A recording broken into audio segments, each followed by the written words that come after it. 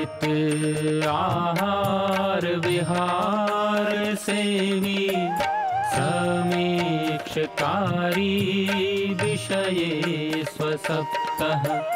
दाता समः सत्यपरः क्षमावान् आप्तोपसेवी च भवत्यरोगः।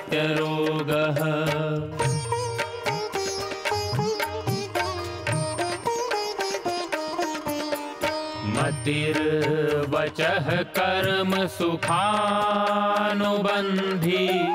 सत्वं विधेयं विशदा च बुद्धिः। ज्ञानं तपः तत्परता च योगे।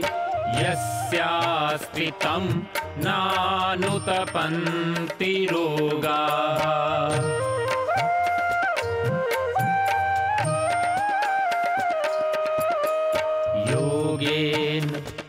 चित्तस्य पदेन वाचां मलं शरीरस्य च वैदिकेन। योपाकरोतं प्रवरं मुनीनां पतञ्जलिं प्राञ्जलिरानतोऽस्मि। पतञ्जलिं प्राञ्जलिरानतोऽस्मि पतञ्जलिं प्राञ्जलिरानतोऽस्मि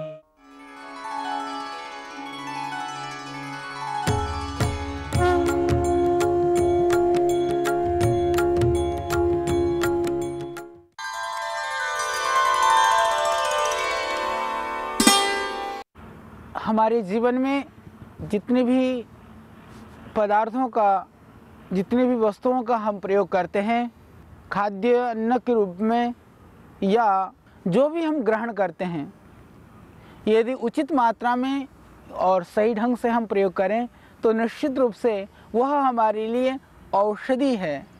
औषधीय गुणों से भरपूर है हर पदार्थ।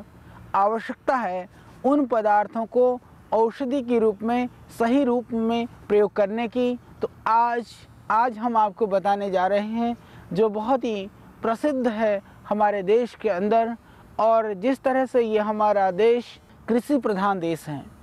यहाँ पर कृषि का कार्य बहुत ही महत्वपूर्ण है। उसमें जो किसानों के द्वारा उगाया जाता है, उन पदार्थों में यह भी एक प्रमुख वस्तु है जिसको हम बोलते हैं सरसों। हालाँकि हमारे देश के वो लोग जो बहुत सारे जिनकी पृष्ठभूमि, ग्रामीण भूमि से है, वह लोग तो जानते हैं, पर बहुत थोड़े लोग हैं जिनको शायद यह न पता हो कि सरसों कैसा होता है और किस तरह से ये पैदा होती है, इसकी खेती कैसे होती है, क्योंकि यह एक सुप्रसिद्ध और बहुत ही अच्छा पौधा है और यह हमारे देश का गौरव भी है इस रूप में, क्योंकि इसके पीछे हज़ारों नहीं, लाखों किसानों की आजीविका का यह साधन है। तो लाखों लोग इस सरसों के तेल का प्रयोग करके भोजन में, मालिश में, वो अपने जीवन का निर्वहन करते हैं और वह अपने जीवन को सुंदर, स्वस्थ और सुडोल बनाते हैं। इसीलिए यह सुप्रसिद्ध पौधा है सरसों का। इसको मस्टर्ड प्लांट के नाम से इसको हम जानते हैं।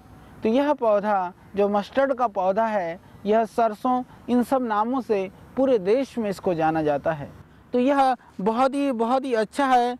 यह सरसों का यह पौधा, क्योंकि इस पौधे को हमने भोजन के रूप में, खाद्यान्न के रूप में तो जाना है, खाद्यान्न के रूप में तो हम इसको प्रयोग करते ही हैं सरसों के तेल का, परंतु आज हम कुछ इसके औषधीय गुणों के संदर्भ में। सरसों का यह पौधा न सिर्फ़ एक भोजन का अंग है, अपितु यह पौधा एक औषधीय गुणों से भरपूर है। आज हम जानेंगे इस बात को। सरसों का साग आपने सुना होगा। विशेष करके पंजाब, हरियाणा, राजस्थान, गुजरात आदि में भी बहुत ही खाया जाता है पूरे देश में। सरसों की ये पत्तियाँ जब थोड़ी कोमल होती हैं तो इन पत्तियों को तोड़ करके या इसके कोमल भाग को डंठल सहित जैसे आप देख रहे हैं, यह अब डंठल जैसे ये कोमल है तो इस कोमल डंठलों को तोड़ करके इसका साग बनाया जाता है। उसको हम जानते हैं सरसों का साग, और सर्दी में सरसों का साग और मक्की की रोटी यह बहुत ही सुप्रसिद्ध भोजन है उत्तर भारत में, विशेष करके तो यह बहुत ही घर घर में खाया जाता है।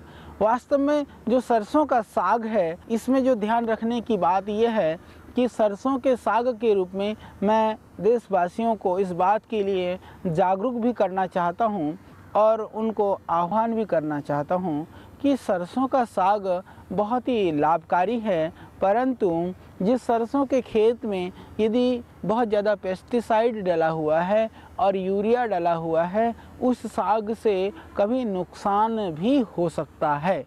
तो उस नुकसान से बचने के लिए आप कहेंगे कि सरसों का साग सर्दी में सेवन के लिए बहुत उत्तम होता है, स्वादिष्ट भी होता है।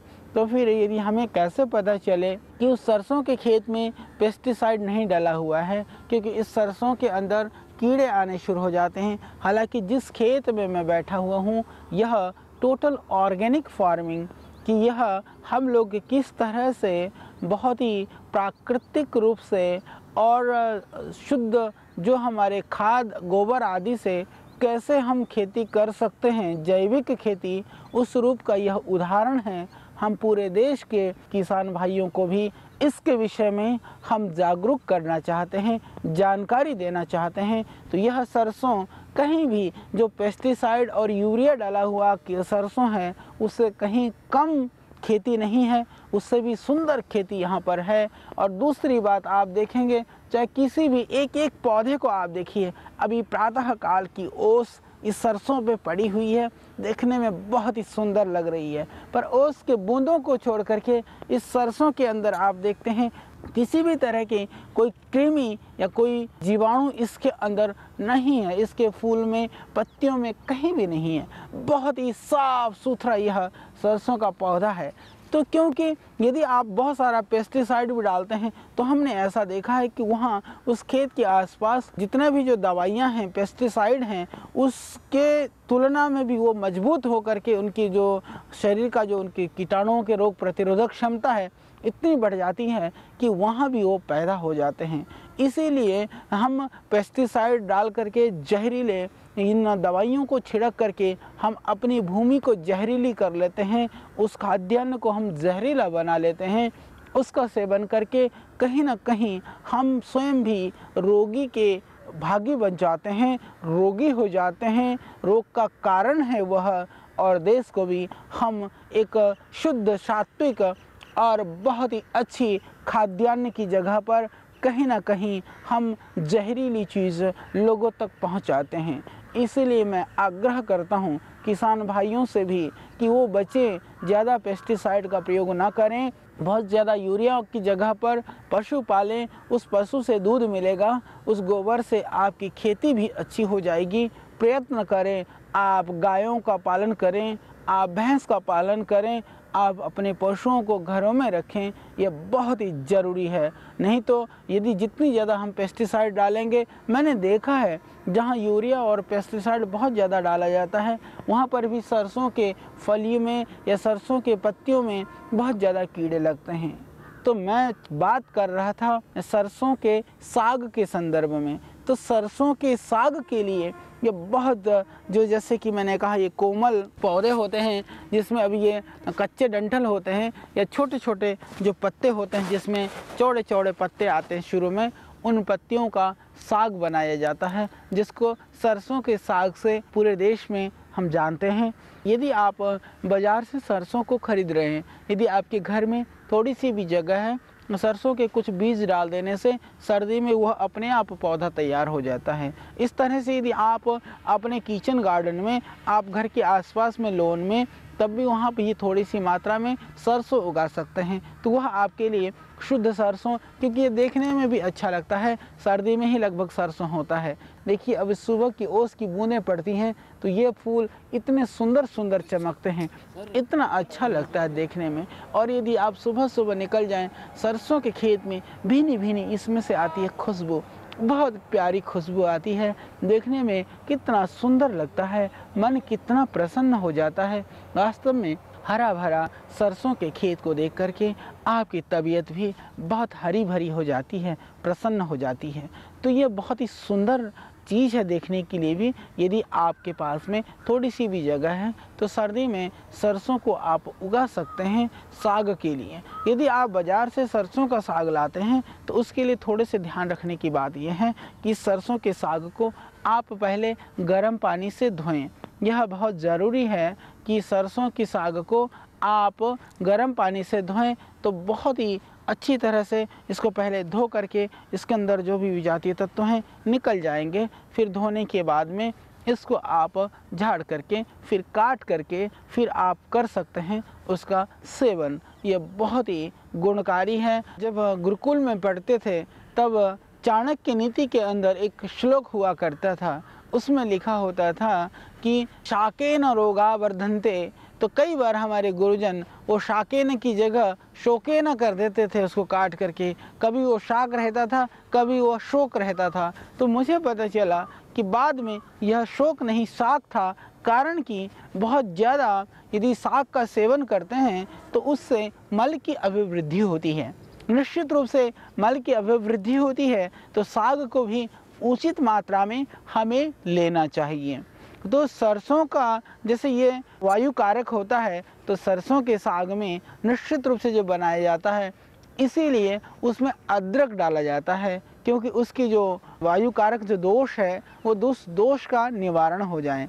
तो बहुत ही अच्छा है यह सरसों का साग, और कभी कभी सर्दी में ज़रूर आप इसका सेवन कर सकते हैं। इसके अतिरिक्त यह सरसों का तेल हम सब जानते हैं, यह तेल पूरे देश के अंदर खाने के लिए प्रयोग किया जाता है और मालिश के लिए प्रयोग किया जाता है। विविध रोगों में और औषधियों का सम्मिश्रण करके हम दवाई के रूप में भी प्रयोग करते हैं।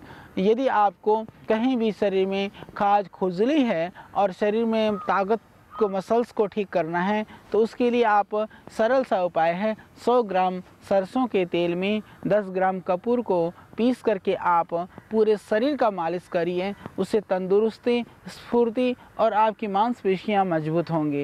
यदि उस तेल को यदि आप मालिश करते हैं बालों के लिए तो उससे आपके बाल भी सरसों के तेल से कपूर मिला के मालिश करने से तुरंत झड़ने बंद हो जाएँगे। हालाँकि बाज़ार के अंदर, सरसों के तेल के अंदर भी मिलावट है, यह तो आप सुनिश्चित करें कि जो तेल आप प्रयोग कर रहे हैं, वह शुद्ध सरसों का होना चाहिए। वो शुद्ध सरसों का तेल का यदि आप प्रयोग करते हैं तो निश्चित रूप से आपको भरपूर लाभ मिलेगा।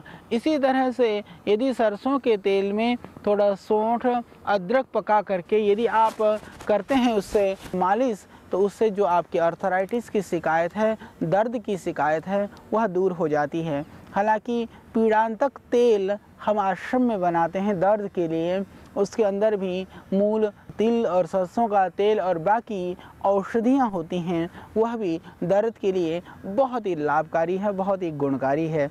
जिनको घुटनों में दर्द है, जोड़ों में दर्द है, शरीर में दर्द है, उन लोगों के लिए बहुत ही गुणकारी उपाय है। 100 ग्राम सरसों का तेल 20-25 ग्राम लहसुन, उसमें 20-25 ग्राम सौंठ को डाल करके धीरे धीरे आँच पर पकाएँ। पकने के बाद जब वो बिल्कुल लाल सुर्ख हो जाए, अदरक और लहसुन को वहाँ से आप उसको छान के हटा दें। और बाकी तेल को आप रखिए। तो यह आपका दर्द निवारक तेल और लाभकारी तेल है। दर्द के लिए सरसों का प्रयोग। कान में कोई भी परेशानी है, हमारे यहाँ तो प्राचीन काल में विशेष करके अभी भी बनारस आदि क्षेत्र में हमने देखा, घाटों में जब स्नान करते हैं गंगा के किनारे पर, तेल मालिश करके हर रोज़ कान में तेल डालते हैं। बाद में मॉडर्न चिकित्सा में ऐसा कहा जाने लगा कान में तेल डालना नुकसानदायक है, परंतु मैं निश्चित रूप से कह सकता हूँ कि कर्ण पूर्ण की जो व्यवस्था है, कान में तेल डालने की व्यवस्था है, हमारी संस्कृति की बहुत प्राचीन परिपाटी है और पुराने ज़माने में बुढ़ापे में भी लोग बहरे नहीं होते थे, आज बहरापन बढ़ रहा है। मैं समझता हूँ कि यदि सरसों का तेल नियमित रूप से कान में डाला जाए तो जो कान की व्याधि है, कान की जो इन्फेक्शन है, दूसरी जो बीमारियाँ हैं उससे भी आप बच सकते हैं। और बुढ़ापे में भी आपके कान बिल्कुल आपकी जो श्रवण शक्ति है, सलामत रहेगी। उसके लिए आप सरसों का प्रयोग करिए। और सरसों इतना ही नहीं, यह सरसों बहुत सारी चीज़ों के लिए भी बहुत ही लाभकारी है। सरसों का जो तेल तो लाभकारी है ही है, पक्षाघात में यदि सरसों को पीस करके आप एक भाग सौंठ ले लें, दो भाग सरसों ले लें, उसको पीस करके अच्छी तरह से पेस्ट बना करके यदि करते हैं आप शरीर की मालिश पक्षाघात वाले जगह को तो उससे पक्षाघात में पूरा लाभ मिलेगा, बहुत तुरंत फ़र्क पड़ना शुरू हो जाएगा। सिर्फ़ सौंठ और सरसों, इसको इतना बारीक पीस लें कपड़ छन करके, उसकी आप करें मालिश बहुत ही लाभकारी है। सरसों का खल हम जानते हैं, जिनको दर्द है तो सरसों का खल भी यदि आप डाल करके बिनोला सरसों का खल और बाकी सौंठ, अजवाइन, सिंधा नमक इसको उबाल करके यदि आप सिकाई करते हैं उससे भी पूरा लाभ होगा। और यह जो खल है, वह पशुओं के लिए बहुत ही लाभकारी है, बहुत ही दुधारू है। और खल यदि थोड़ा सा डाल दें खेत में तो बहुत ही ऑर्गेनिक काम करता है आप पौधा के अंदर थोड़ा सा खल भिगो करके आप डाल दीजिए। किसी भी पेस्टिसाइड की ज़रूरत नहीं है। वो आप देखेंगे, पौधे कितने जल्दी बढ़ना शुरू हो जाते हैं। ये बहुत ही लाभकारी है। और जिनको फील पाँव जो एलिफेंट लैग होता है, फील पाँव वालों को भी यदि सरसों का तेल और गोमूत्र मिला करके मालिश कर दें तो उससे आप देखेंगे कि उनकी जो फील पाँव की जो बड़े हुए पैर हैं मोटे मोटे पैर हैं, या हाइड्रोसिल अंडकोश बढ़ा हुआ है, उसमें भी सरसों का तेल और गोमूत्र मिला करके मालिश करने से पूरा लाभ होता है। तो ये बहुत ही लाभकारी है। जो कमज़ोर बच्चे हैं, उनको भी थोड़ा सा सरसों का तेल में यदि संभव हो केसर पीस करके यदि संभव नहीं है तो सिर्फ़ कपूर मिला करके भी मालिश कर सकते हैं। तो विविध रोगों में विविध पदार्थों को मिला करके मालिश करने से शरीर निरोग होता है, हृष्ट पुष्ट होता है, बाहर की बीमारियाँ दूर होती हैं। तेल के सेवन से भी यह आपको देता है ताकत, डाइजेशन सिस्टम के लिए ठीक है। आपकी जीवन शक्ति को बढ़ाने के लिए ठीक है और यह सरसों आपको भरपूर लाभ देता है। आपके जीवन के लिए यह सरसों सिर्फ़ एक खाद्यान्न नहीं है, यह सरसों वास्तव में एक औषधीय गुणों से भरपूर यह औषधीय पौधा है। आज से निश्चित रूप से मैं जहाँ समझ सकता हूँ कि पूरे देशवासी, हालाँकि सरसों के गुण से हम परिचित थे, फिर भी हम औषधि के रूप में सरसों का प्रयोग ज़रूर शुरू करेंगे। इन्हीं कामनाओं के साथ कल फिर हम आपके लिए एक और औषधीय पौधे के संदर्भ में ढेर सारी जानकारी लेकर होंगे आपके बीच। तब तक के लिए आप दीजिए हमें विदा।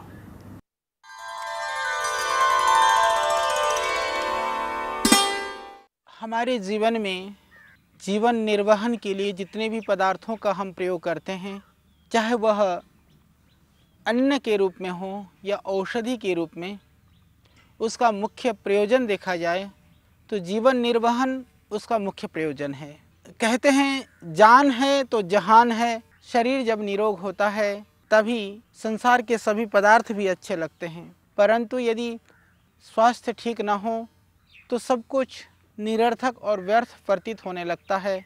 संभवतः इसी बात को ध्यान में रखते हुए, ऋषियों ने शरीर माध्यम खलु धर्म साधनम करके कि शरीर को प्रथम धर्म साधन का साधन बताया गया है। संसार के अंदर जितनी भी उन्नति है, समृद्धि है, या किसी भी तरह का कार्य है, शरीर ठीक होने से ही ठीक हो सकता है।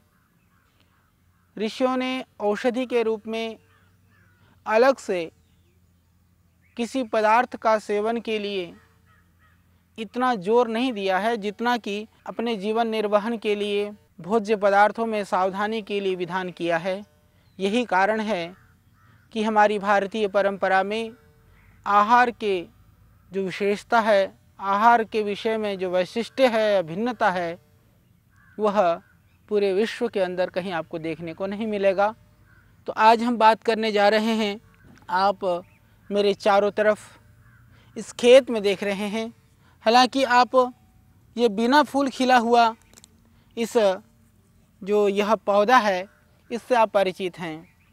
जब फूल खिल जाता है तो आप देख रहे हैं किस तरह से पूरा खेत एकदम हरियाली के साथ में, जैसे कि किसी को बहुत सुंदर से व्यक्ति को, सुंदर सी माता या बहन को जब हरे वस्त्रों में पीले पीले गहने पहना देने पर किस तरह से उनकी शोभा कई गुनी बढ़ जाती है, इसी तरह से इस खेत की, इस भूमि की, इस हरे पौधे के अंदर ये बिखरे हुए बहुत सुंदर से फूल ने बढ़ा दिया है।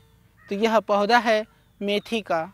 मेथी नाम सुनते ही आपको बिल्कुल आपकी रसोई की स्मृति आती होगी। जब माँ और बहन किसी सब्ज़ी में मेथी की छोंक लगाती हैं तो उसकी खुशबू जो है, वह सबको, सबके मन को बहुत प्रसन्नता प्रदान करता है। वास्तव में मेथी एक ऐसा बहुत ही उपयोगी, उपकारी एक पदार्थ है, जो हमारे रसोई में आज भी उसके औषधीय गुणों से परिपूर्ण हमारे रोगों को दूर करने के लिए हमारी प्रतीक्षा कर रहा है। मेथी आपको खोजने के लिए बाहर जाने की ज़रूरत नहीं है। अपने रसोई में आपको मेथी मिल जाएगी, पर मेथी हम दो तरह से हम मेथी का प्रयोग कर सकते हैं। एक तो हम सब जानते हैं कि मेथी के पराठे, मेथी का पराठा जो है, बहुत लोग खाते हैं। परंतु मैं कहता हूँ कि पराठे में बहुत ज़्यादा घी से तल करके हमने मेथी के गुणों को भी एक तरह से मेथी पाचक होता है। मेथी सब तरह से हमारे रक्त का शोधन करता है। उसके बाद में भी हमने उस मेथी को घी में तल करके, भून करके उसके गुणों को हमने कम कर दिया है।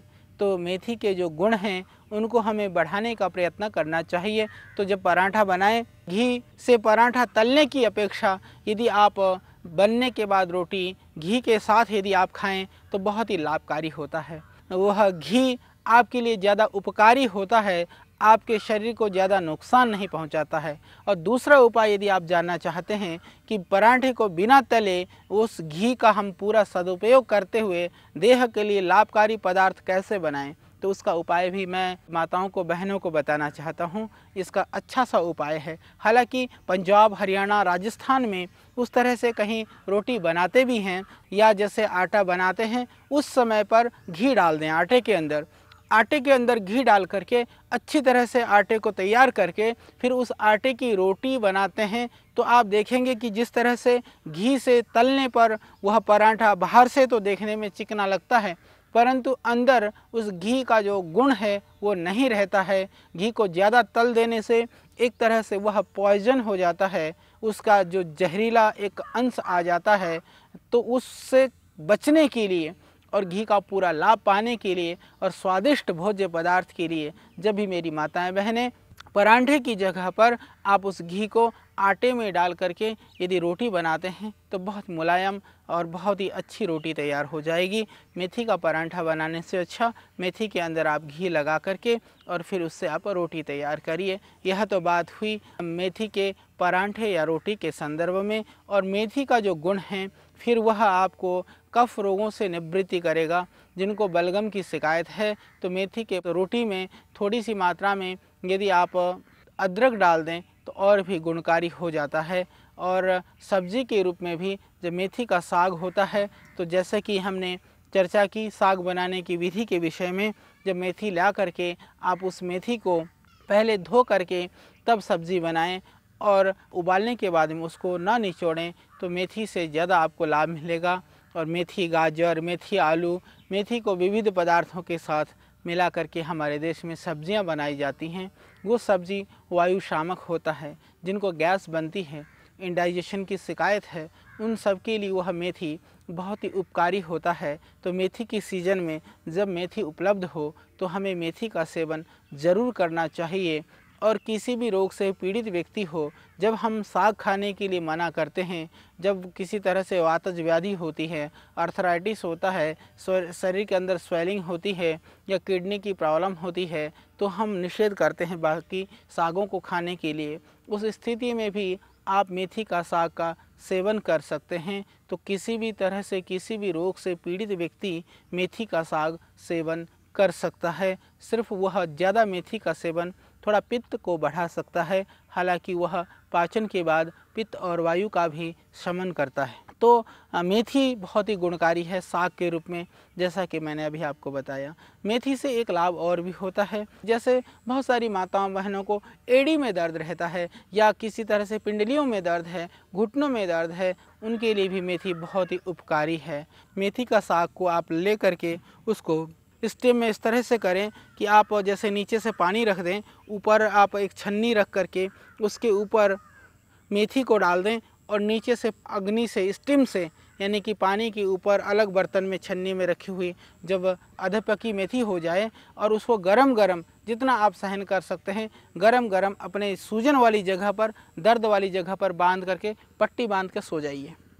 आप देखेंगे रातों रात में आपको पता भी नहीं चलेगा, मेथी से किस तरह से सूजन खत्म हो जाती है और दर्द गायब हो जाता है। अत्यंत शोथ और पीड़ा निवारक है यह मेथी। बहुत ही गुणकारी है, बहुत ही लाभकारी है। जैसे कि मैंने बताया स्टीम से पकी हुई मेथी को वहाँ बाँध करके आप पट्टी बाँध लें तो उससे तुरंत आपको दर्द में लाभ हो जाएगा। बहुत ही लाभकारी है यह मेथी दर्द के लिए और सूजन के लिए। यह तो बात हुई मेथी के साग की। और मेथी के साग को यदि बहुत ही बारीक पीसते हैं आप और पीस करके यदि लगा लेते हैं चेहरे पर तो उससे जो चेहरे की कांति है, वह भी बढ़ जाती है और चेहरे की खुश्की भी दूर हो जाती है। तो उसके लिए भी आप चेहरे के लिए भी मेथी के साग का प्रयोग आप कर सकते हैं। अंदर से खाने से अंदर से लाली आपको मिलेगी और बाहर लगाने से भी चेहरे की कांति इससे बढ़ेगी तो बहुत ही लाभकारी है। अब हम बात करते हैं मेथी के दाने। मेथी का दाना भी, जैसा कि मैंने कहा, हर घर के रसोई में है। हमारे पूर्वजों को पता था, आज भी हमारी जो माताएँ बहनें जब कद्दू की सब्ज़ी बनाती हैं, जिसको पेठा बोलते हैं कई जगह कई जगह कद्दू बोलते हैं, जो गोल गोल जो पम्पकिन होता है, बड़ा गोल गोल उसकी जब सब्ज़ी पकती है तो ज़रूर उसमें मेथी का छोंक लगाया जाता है। क्योंकि वह वायु कारक होता है तो वायु के समन के लिए मेथी का छोंक लगाया जाता है। तो किन किन पदार्थों में मेथी का छोंक लगाना है, यह हमारी माताओं बहनों को बखूबी परंपरा से पता है। इसी को ही बोलते हैं परंपरागत ज्ञान, इसी को ही बोलते हैं गुरु परंपरा से ज्ञान। तो वास्तव में ये जो परंपरागत ज्ञान है, हमारी रसोई की, हमारे खान पान की, हमारे यहाँ से सदियों से चली आ रही है, पर आज फास्ट फ़ूड जंक फ़ूड और ये जो पिज़्ज़ा बर्गर की वजह से कहीं हम अपनी सांस्कृतिक जो हमारी विरासत थी, उसको भी हम भुला रहे हैं। खान पान की जो परंपरा थी, आज विकृत हो रही है। हमें समय रहते ही उन चीज़ों के प्रति ज़रूर जागरूक होना चाहिए। मैं ऐसा मानता हूँ, यह बहुत ही ज़्यादा ज़रूरी है। और जहाँ तक बात रही मेथी दाने की तो यह डायबिटीज़ के लिए भी बहुत ही उपयुक्त है। जो डायबिटीज़ के पेशेंट हैं, उन लोगों के लिए ये बहुत ज़रूरी है कि वो रात को एक डेढ़ चम्मच मेथी, चार पाँच ग्राम मेथी पानी में भिगो दें और सुबह उसको चबा चबा करके खाएँ और उस पानी को भी पिएँ। इस तरह से करने से जो डायबिटीज़ है, वो कंट्रोल होती है और पेट भी इससे ठीक रहता है और जिनको अर्थराइटिस है, उसके लिए भी ये लाभकारी है। तो अर्थराइटिस के रोगी और जो डायबिटीज़ के पेशेंट हैं, ये दोनों ही लोग रात को मेथी को भिगो करके प्रातः काल मेथी के दानों का सेवन करें और उससे आपको पूरा लाभ मिलेगा। भिगोने के बाद में जो इसकी उष्ण प्रकृति है, वह प्रकृति भी परिवर्तित हो जाती है, वह आपको ज़्यादा गर्मी नहीं करेगी।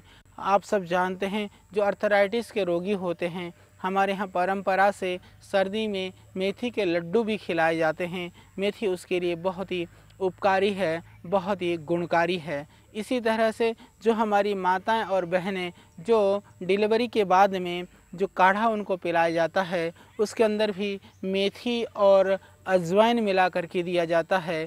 डिलीवरी के बाद में तो वो सब इन्फेक्शन और स्वेलिंग ख़त्म हो जाती है और अंदर किसी कारण से कोई भी ओवरेज यूट्रस में, गर्भाशय आदि में कोई विकृति रह गई हो तो वह भी दूर करता है। तो मेथी को, माताएँ बहनों को भी बच्चा होने के बाद में ज़रूर देना चाहिए। खाद्य के रूप में भी, भिगो करके भी, या जो भी काढ़ा वगैरह उनको पिलाया जाता है, उसमें मेथी को ज़रूर दिया जाता है। और श्रद्धेय स्वामी जी का प्रसिद्ध नुस्खा लगभग हम सब देशवासी जानते हैं, जिनको शाइटी का प्रॉब्लम हो, चाहे अर्थराइटिस का हो, चाहे मस्कुलर प्रॉब्लम हो, हल्दी, मेथी और सौंठ का पाउडर हल्दी, मेथी और सौंठ बराबर मात्रा में यदि आप पाउडर करके रख लेते हैं और एक एक चम्मच सुबह शाम लेते हैं तो शाइटी का प्रॉब्लम हो, चाहे अर्थराइटिस का हो, चाहे मस्कुलर प्रॉब्लम हो, सभी चीज़ में मेथी अत्यंत गुणकारी है, बहुत ही लाभकारी है उसके लिए आप मेथी का प्रयोग करके भरपूर लाभ पा सकते हैं। तो एक मेथी के बहुत अनेक गुण हैं। औषधि के रूप में आप निर्विवाद रूप से इस मेथी का सेवन कर सकते हैं। और जो आपके सर्दी, जुकाम वगैरह है, मेथी को रात को भिगो करके उसको अंकुरित करके आप जैसे भोजन के साथ में भी थोड़ी मेथी नियमित रूप से ले सकते हैं। उसको लेने से जो आपके सर्दी, जुकाम वगैरह है, वो भी ख़त्म हो जाएगा। और मेथी का एक और प्रयोग है। मेथी को भून करके जब बिल्कुल लाल हो जाए, उसको पाउडर करके आप दूध में थोड़ा सा डाल करके भी प्रतिदिन यदि आप ले लेते हैं तो उससे दूध हजम हो जाएगा, दूध डाइजेस्ट हो जाएगा।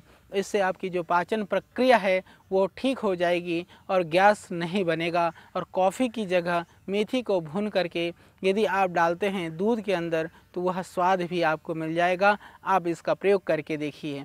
मेथी को भून करके, पाउडर करके आप डालिए दूध में, फिर पीजिए। तो जिनको दूध हजम नहीं होता है, दूध का पाचन नहीं होता है, उनको भी दूध पाचन होने लगेगा। यह बहुत ही लाभकारी प्रयोग है। और इसके अतिरिक्त जो है मेथी को, जिनको सर में बहुत दर्द रहता हो, उन सर दर्द के रोगियों को भी आप मेथी को रात को भिगो करके प्रातःकाल मेथी आप प्रतिदिन सेवन करते हैं तो इससे माइग्रेन में भी पूरा लाभ होता है, जिनको कफ और वात रोग की वजह से सर में दर्द हो, उन रोगियों को भी इस तरह से मेथी का सेवन ज़रूर करना चाहिए। तो आज से हम पूरे देशवासी से आह्वान करते हैं, मेरी माताओं, बहनों से विशेष करके जितना संभव हो सके, अपने रसोई में जो आपकी मेथी है, उसको सिर्फ़ खाद्यान्न के रूप में नहीं, सिर्फ़ भोजन के स्वाद को बढ़ाने के लिए नहीं, अपितु एक औषधि के रूप में भी आप स्थान दे दें और पूरे परिवार को स्वस्थ और निरोग रखने में मेथी का आप प्रयोग करिए। और मेथी के द्वारा आप अपने घर को स्वस्थ रखिए। यही हमारा मिशन है। इसी उद्देश्य को लेकर के हम हैं आपके बीच में। तो इस प्रयोग को आप ज़रूर आजमाइए। आप देखेंगे कि मेथी एक बहुत ही दिव्य औषधि है, एक चमत्कारिक औषधि है, एक सद्य प्रभावशाली औषधि है और सबसे बढ़ कर के मेथी आपके घर में सहजता से उपलब्ध है। तो आइए इस मेथी का प्रयोग करके इस देश को निरोग बनाने का जो महाअभियान है, उसके अंदर एक और कड़ी जोड़ें। तो इन्हीं शब्दों के साथ फिर कल हम आपके लिए और भी ज्ञानवर्धक जड़ी बूटी आयुर्वेद और वनौषधियों के रहस्यों को लेकर के उपस्थित होंगे आपके बीच।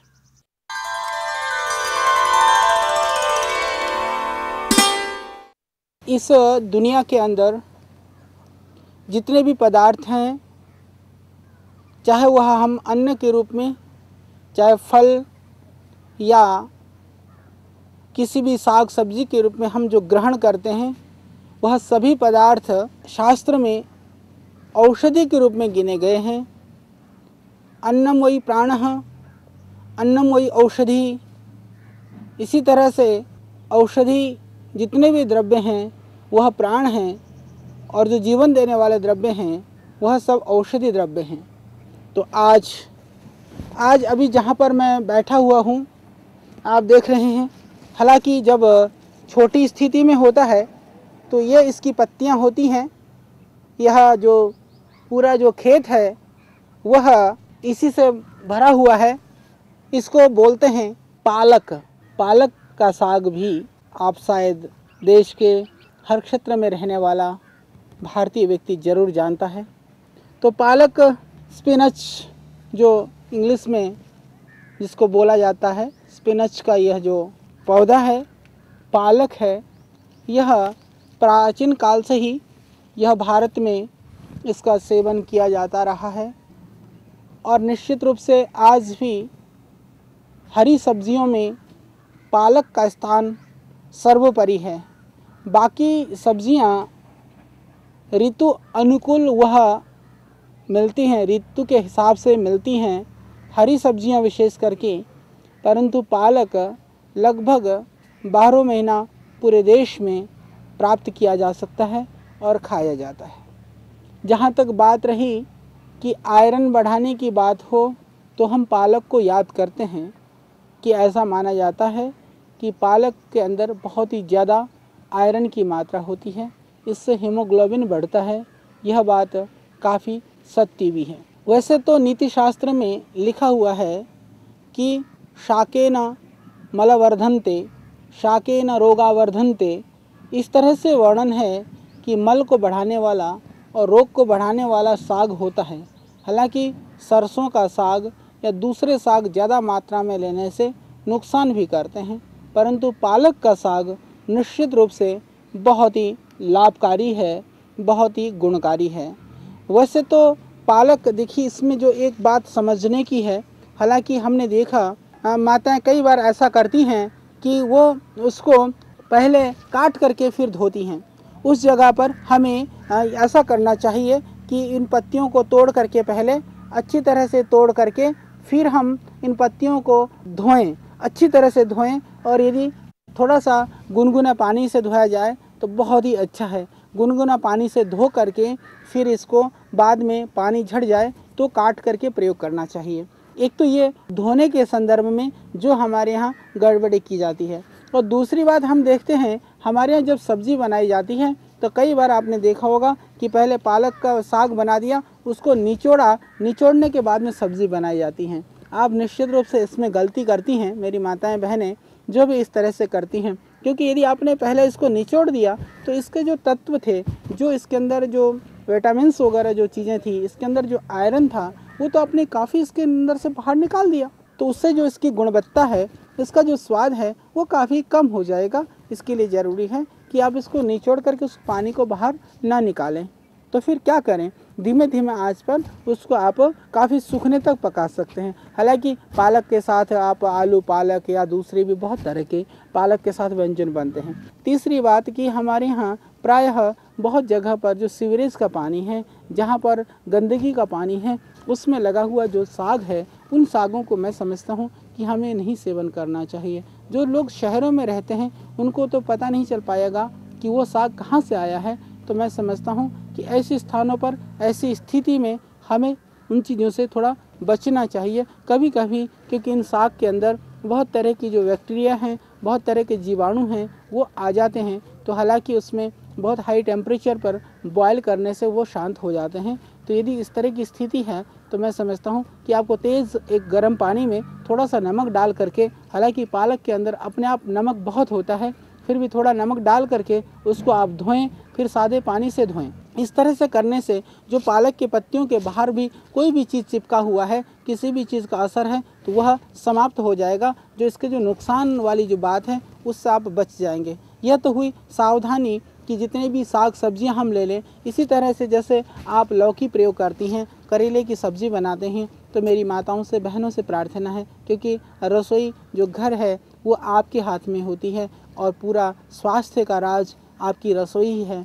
इसीलिए मेरी माताएँ, हमारी बहनों से मैं गुजारिश करूँगा, प्रार्थना करूँगा कि निश्चित रूप से आप रसोई को सुधारें तो पूरा परिवार सुधर जाएगा और वह आपके हाथ में है। इसीलिए पूरा घर, मैं तो कहा करता हूँ, हमारी माताएँ, हमारी बहनें, वास्तव में वह घर की तो वह गृह मंत्री वही हैं, क्योंकि जैसा वो चाहें उस तरह से घर को चला सकती हैं। तो इसीलिए ज़रूरी है कि भोजन के संदर्भ में जिस तरह से मेरी माताएँ बहनें अलग अलग व्यंजनों को बनाने के लिए, स्वाद के लिए बहुत तरह से पुरुषार्थ और जानकारियाँ इकट्ठी करती रहती हैं, इसी तरह से उन पदार्थों का जो गुण है, उनकी जो, उसके अंदर विद्यमान जो तत्व हैं, वह ख़त्म न हो जाए, इसके लिए भी उनको ज़रूर प्रयत्न करना चाहिए। जैसे मैं बात कर रहा था, खीरा है, करेला है, टमाटर है इसके लिए हमें क्या करना है कि आप गर्म पानी में नमक डाल करके अच्छी तरह से उसको मसल मसल करके आप धो लें। तो मैं समझता हूँ कि उसके जो तत्व हैं, जो विकार हैं, वो निकल जाएगा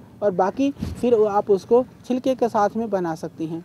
मन का भ्रम रहता है कि छिलका उतार दिया तो ये सारी चीज़ें निकल जाएँगे। यदि वो केमिकल की वजह से अंदर तक असर किया हुआ हो, छिलका हटाने से ख़त्म होगा नहीं और बाहर चिपकी हुई चीज़ है तो नमक के पानी से नमक डाल करके गर्म पानी से धो देने से साफ़ हो जाता है तो उस चीज़ को हमें हटाना नहीं चाहिए। इसी तरह से फल आदि के विषय में भी कोई खाने की चीज़ है, आपने नमक के पानी से धो दिया तो हो सकता है वो नमकीन हो जाए। उसके लिए नमक के पानी से धोने के बाद में एक बार आप गुनगुने पानी से, सादे पानी से धो दें। तो उसके जो विकार हैं, जो उसके अंदर कोई भी किसी भी तरह का कोई भी जीवाणु या किसी भी तरह के कोई भी बैक्टीरिया हो, वह उसमें से हट जाएगा, ख़त्म हो जाएगा। यह बैक्टीरिया रहित करने का एक सरल सा उपाय है किसी भी खाद्य पदार्थ को।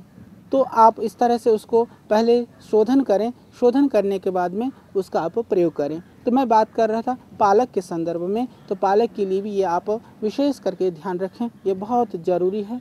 आपकी थोड़ी सी सावधानी आपके घर के स्वास्थ्य को बना सकता है और थोड़ी सी असावधानी बहुत उससे हानि हो सकती है। तो ये पालक को बहुत ही आयुर्वेद के अंदर पौष्टिक माना गया है तो ये प्रामेह नाशक भी माना गया है। और जो मेरी माताओं बहनों को बहुत ज़्यादा ओवर ब्लीडिंग होती हो, उनके लिए पालक एक औषधि है। पालक का रस निकाल करके आप लगभग 20-25 एम पालक का रस और एक सेब का रस। सेब और पालक का रस यदि आप नियमित रूप से पीते हैं तो जो एनीमिक हैं हमारी माताएँ, बहनें, उनका हीमोग्लोबिन बढ़ने लगता है। हमारे देश के अंदर एक बहुत बड़ी समस्या है, एनीमिया की रक्त अल्पता की। तो उसको दूर करने के लिए यह बहुत ही एक अच्छा और सरल और प्रमाणिक उपाय है। हाँ जो मेरी माताएँ, बहनें गर्भिणी हैं, क्योंकि पालक थोड़ा सा तीक्ष्ण होता है, इसीलिए गर्भ अवस्था में ज़्यादा पालक के रस का सेवन नहीं किया जाता है। थोड़े कम मात्रा में पालक को फिर भी ले सकती हैं। जब पाँच छः महीने हो जाए, जिनको किसी भी तरह के जैसे धातु रोग है, धातु रोग में प्रमेह की बीमारी में भी जो पालक का रस है, वो बहुत लाभकारी होता है। पालक के रस को आप निकालिए और पालक का सूप बना करके आप पीजिए, उससे आपके जो प्रमेह की बीमारी है, प्रदर की बीमारी है, जिनको धातु रोग है, वो कुछ समय तक लगातार नियमित रूप से पालक का सेवन कर सकते हैं।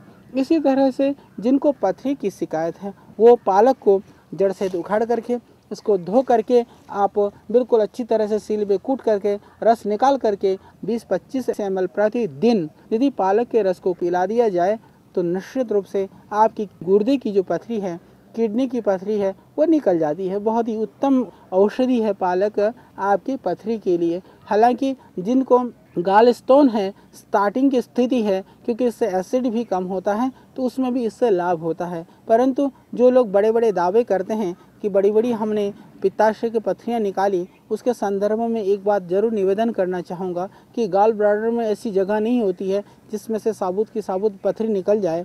हालाँकि जैसे पत्थर चिट्टा के पत्ते हैं या पालक के पत्तों का सोरस है, ये सब उस पथरी को धीरे धीरे डिजॉल्व कर देता है, उसको घुल करके पुनः वो पित्त के रूप में बाहर निकल करके आ जाता है। छोटी पथरी होने पर, बहुत ज़्यादा स्टोन होने पर, हम उस विषय में निश्चित रूप से ये नहीं कह सकते कि वो पथरियाँ सब खत्म हो सकती हैं। और तीसरी चीज़ जिनको कब्ज है, उनके लिए पालक रामबाण है, बहुत ही एक अच्छी औषधि है। कि यदि आपको दस्त लगते हों बार बार जिनको मोशन जाना पड़ता है, उनको पालक का सेवन नहीं करना चाहिए। एक भाई कहने लगे कि, आचार्य जी, हमने तो जो है पालक का सेवन किया, फिर भी बीमारी बढ़ गई। हमने पूछा कि किस तरह से क्या वो कहने लगे कि, मैं दस्त लगने से बहुत कमज़ोर हो गया था। हमने सोचा कि पालक के आयरन से हमें ताकत मिलेगी। पालक का जूस पीते रहे। और बोले, हमारे जो दस्त थे और बढ़ गए। वास्तव में जिनको दस्त है, उनको पालक से बचना चाहिए। जिन लोगों को आंतों में अल्सर हो, अल्सर में क्योंकि पालक थोड़ा तीक्ष्ण होता है, ज़्यादा आयरन की वजह से शायद मैं समझता हूँ कि अल्सर के रोगियों को पालक नुकसान करता है। तो जिनको आंतों में बहुत ज़्यादा इन्फेक्शन है, सूजन है या अल्सर टाइप जैसे जो बीमारियाँ हैं, उन लोगों को पालक का सेवन नहीं करना चाहिए। तो पालक को कैसे सेवन करें, किन रोगों में सेवन करें, हमने आपको दी जानकारी। वास्तव में जितने भी साग हैं उनके लिए यह बहुत ही उत्तम यह पालक का साग है। और पालक का एक और गुण है, जिनको गले में गड़बड़ी है तो कुल्ला के लिए और गरारे करने के लिए भी आप पालक के पानी का प्रयोग कर सकते हैं। पालक को आप उबाल करके, नमक डाल करके उसके काढ़े का गरारा कर सकते हैं। उससे आपका जो है खराब गला ठीक हो जाएगा। पालक का रस बहुत ही लाभकारी है, बहुत ही गुणकारी है।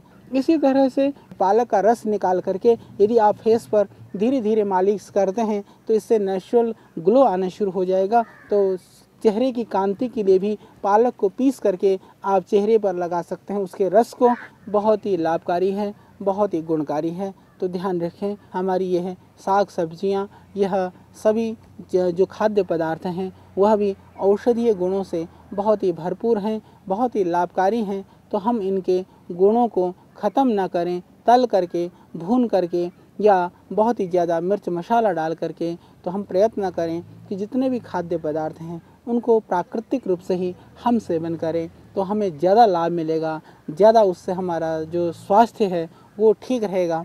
हालाँकि पश्चिमी देशों के अंदर आज भी उबाल करके खाने के ज़्यादा रिवाज है। हमारे यहाँ ज़्यादा तलने भुनने की परंपराएँ हैं, क्योंकि हमारे यहाँ जितने तरह के व्यंजनों का सेवन किया जाता है, जितने तरह के खाद्य पदार्थों का सेवन किया जाता है पूरे विश्व में नहीं किया जाता है। तो ठीक है, विविधता हमारी विशेषता है तो विशेषता विशेषता ही बनी रहे, वो विविधता हमारे रोग का कारण न बने, बीमारी का कारण न बने, और हम कहीं खाद्य पदार्थों को जहरीला न कर दें, इसके लिए हम ध्यान रखें। और जिनको पेशाब खुल करके नहीं होता है, जिनको पेशाब में जलन होती हो, जलन की वजह से आप बहुत ज़्यादा परेशान हो तो पालक को कूट करके, रस निकाल करके आप पिएँ, इससे पेशाब की जलन भी ख़त्म हो जाएगी और पेशाब भी खुल करके हो जाएगा। यह बहुत ही लाभकारी है, क्योंकि यह बहुत मुत्रल है और पथरी जैसे रोग के लिए भी यह बहुत ही कारगर है।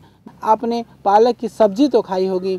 एक और इसका बहुत ही अच्छा उपाय है कि पालक के रस को निकाल कर आठ दस चम्मच रस में थोड़ी मिश्री मिलाइए, उसमें पानी मिला दीजिए और आप चाहें तो और खुशबू के लिए एक दो पत्तियाँ जैसे आप थोड़ी सी तुलसी की भी डाल दीजिए, क्योंकि गर्मी के अंदर तुलसी थोड़ी सी उष्ण होती है, फिर भी बहुत अच्छा आपको लगेगा। तो पालक का शरबत आप पी सकते हैं, वह पालक आपके रक्त को बढ़ाएगा, आपको ताकत देगा और गर्मी से भी बचाएगा।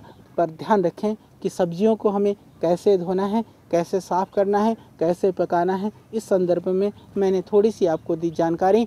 तो आइए खाद्य पदार्थों को भी, हम सिर्फ़ खाद्य पदार्थ के रूप में नहीं, अपितु इन खाद्य पदार्थों को हम आज से औषधीय पदार्थ के रूप में सेवन करें और अपने जीवन को निरोग और निरामय बनाने के लिए हम प्रयत्न करें। हमारे ऋषियों ने आज से हज़ारों वर्ष पहले इन पदार्थों का औषधि के रूप में वर्णन किया है।